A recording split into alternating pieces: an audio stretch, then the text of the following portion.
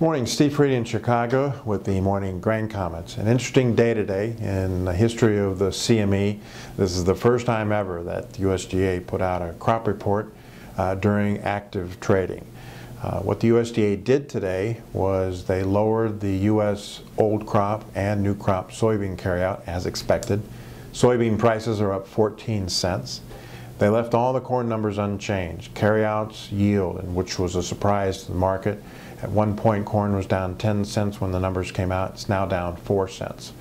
And in the wheat, they lowered the old crop and new crop carryout here in the United States, and wheat's trading about 2 to 3 cents higher.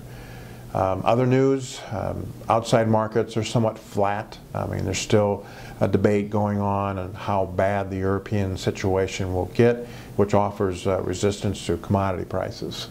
From a weather standpoint, we've got a little bit for everybody here in the United States. Overnight, the rainfall was a little disappointing for some areas of the Midwest. A ridge is going to develop across the Midwest for the remainder of this week and weekend. Next week looks a little wetter, especially west of the Mississippi than we thought yesterday. And then behind that, the maps are trying to put a, a fairly strong ridge in the western part of the Midwest and southern plains.